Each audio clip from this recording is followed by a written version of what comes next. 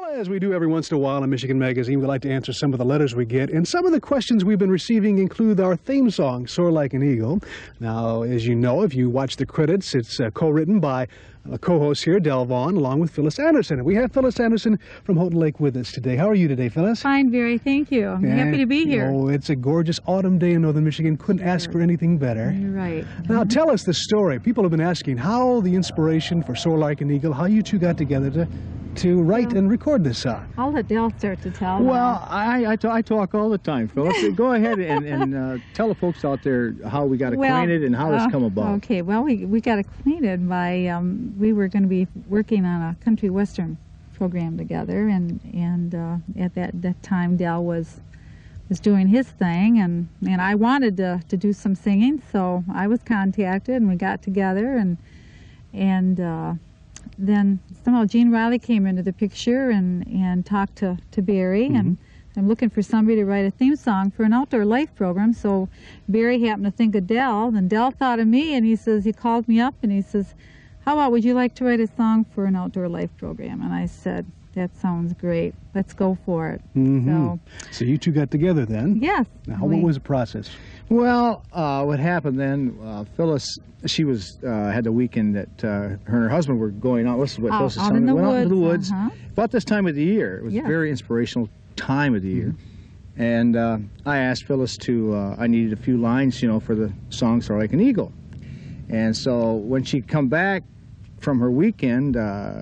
I got back with her and she had a whole page and I says, Phyllis, just a few lines, but they were beautiful. So we, we uh, took uh, two or three lines and Mhm. we uh, worked on it and we inserted it into the uh, into the body or into the song and uh, from there we uh, went to Detroit and a whole bunch from Houghton Lake there uh, Janet uh, Bryer it was Janet Bryer and there was um, old Mary Steve Durden, Mary Durden. Mary Durden Mary Durden Kinney now. Yes, a whole whole bunch of us went down there, and uh, well, we spent 23 hours in the recording studio. You know, for this one song, Just a minute and 20 seconds, Yeah, something that you all got together, Yeah. spent 24 hours doing. Yeah. See, the girls, the girls, uh, nor the the band had even heard this song up until the day that we met at the studio. So the first time hearing it, they, you know, they had to learn their lines and their their part in the song. So uh, that's what I think took more time was because you know, they were preparing for their their part. And uh, but it all went together real well. We Mhm. really really enjoyed it. So we were very tired after. Oh, I bet you were. Now, this is that session. inspired by Michigan, recorded in a Michigan studio, and recorded by Michigan artists. Uh, Yes. What inspiration did you get from Michigan? Come on, now tell me, wh- where did the lines come from? Hey, this is a great state to live in. Mhm. I mean, look at the beautiful colors around us here today, and and our beautiful uh, the beautiful water, the lakes we have in Michigan. I mean, it's just it's a fantastic state to live in. It Mhm. really is. And Mhm. it took me about ten minutes to write the song because I was just so inspired. And Mhm. uh, well, Dell was telling me when uh, he first got in contact with Gene Riley that uh, Phyllis Anderson had to be the one. Now, why did this come about? Uh, was it? well, I have to have Dell answer that.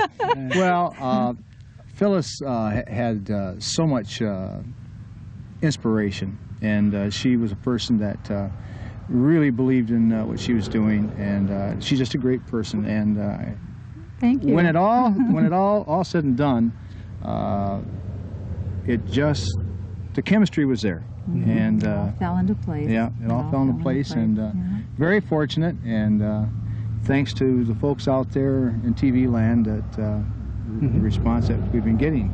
That's great. Now we can all soar like an eagle every week in Michigan Magazine, thanks to these two people and everybody in Houghton Lake who got together and Thank put you. their personal efforts in, you know, the instrumental part and the It was singing. fun. It was, fun. I'd love to do it again. Right. Well, you do it every week here on Michigan Magazine. Yeah. That's good enough for yes. us. Well, thank you. You didn't put me on the spot. No, not yet. That's coming on the All next right. interview. All so right. thank you very much for providing Michigan Magazine Thank with you. Soar Like an Eagle, you guys. Thank you very All much. right. Thank you.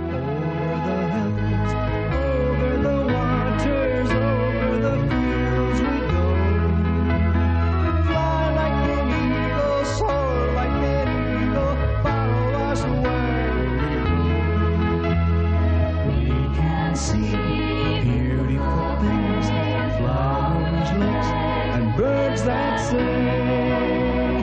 Colors of red, orange, and yellow, valleys that are always mellow.